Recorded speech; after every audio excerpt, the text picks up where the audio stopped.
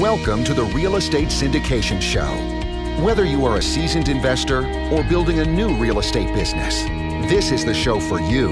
Whitney Sewell talks to top experts in the business. So if you want to do bonus appreciation through cost segregation, you have to take advantage of it in the first year of ownership.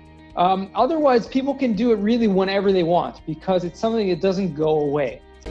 Thank you for listening to the Real Estate Syndication Show.